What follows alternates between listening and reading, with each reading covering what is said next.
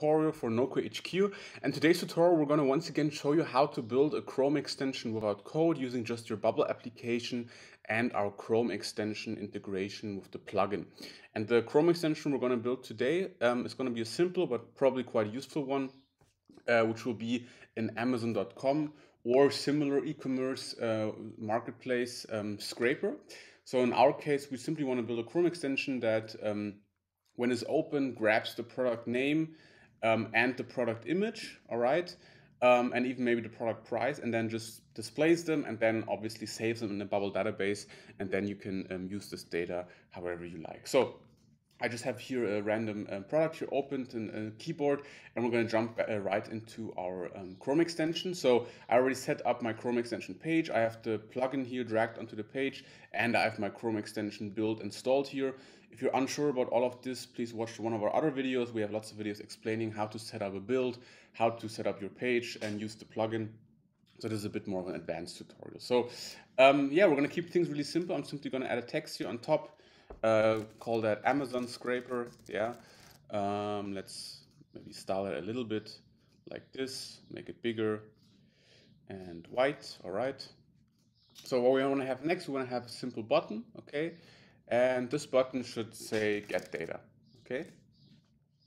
Next, we want to have, um, yeah, we simply want to have, or let's add a state. Let's add a state to this button here. Or we can also add the state to the page itself. So custom state. Let me delete these here. Let me add a new custom state. Let's call that image. Okay. The state type will be of type um, image. All right. And we want to add another type, which is the product name. Just call that name of type text. All right. Uh, and next we want to have a simple text here. Let's make that white as well. And this text will be the Chrome's, the Chrome page's uh, name state we could just created. And beneath this, we want to have an image. And this should be a dynamic image and it should be the Chrome, Chrome's image. And that's basically it. So now obviously we have to um, actually set the data. So let's go into get data.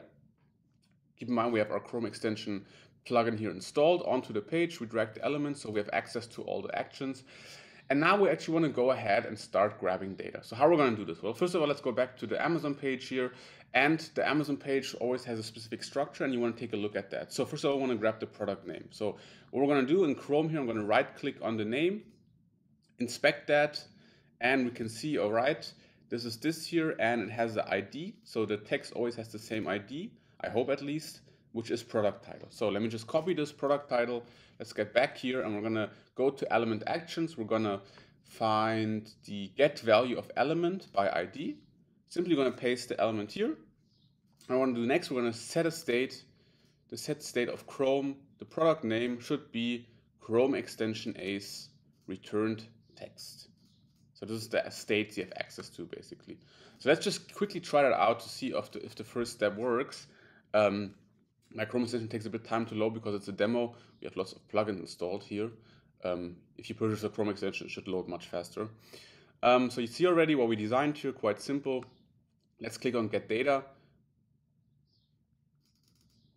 Yep, you see it works. Uh, um, I don't know why I have to click twice, but we have the complete name here of the um, of the of the keyboard SteelSeries. And just to show you that it works 100%, let's just take a look at another product here.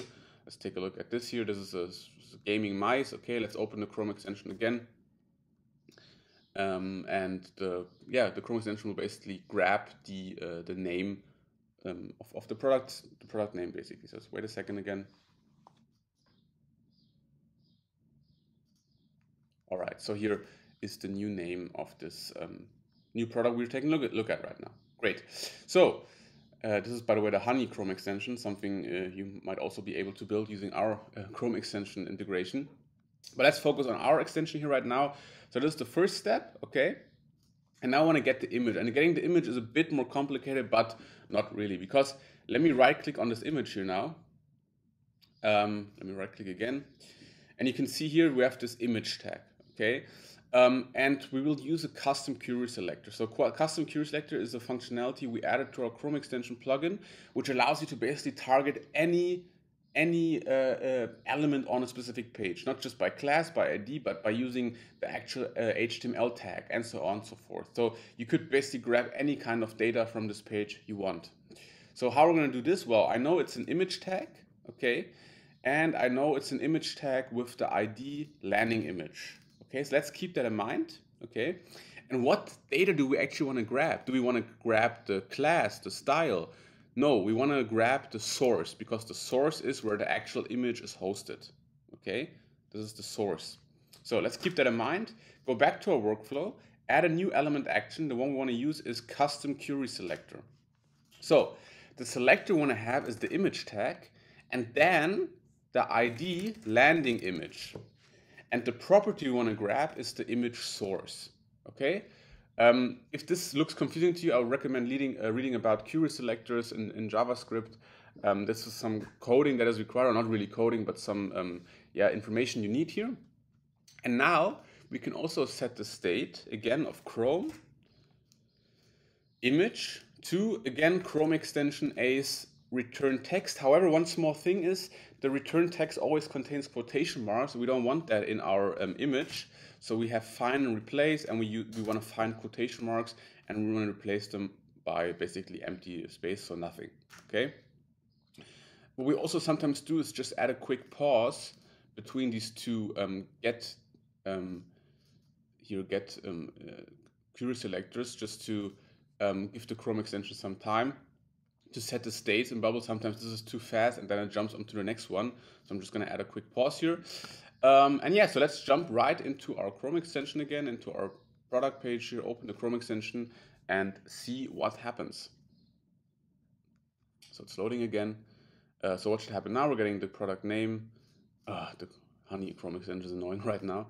Uh, we're getting product name and we should get this first image here, which is the landing image, the main image of the um, product listing. So I'm to click on get data.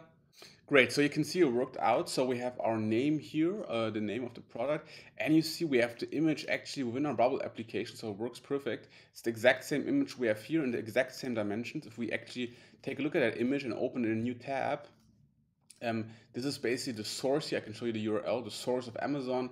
It is directly integrated into our Bubble application, and we basically grab the name um, of the uh, uh, product uh, and the image. And then obviously you can add a button or a workflow that creates a new listing within your Bubble application, uh, saving the product name and saving the product image, and basically building some kind of scraping or any other kind of um, yeah, product listing functionality you want to build. And that obviously works with all other pages, not limited to Amazon.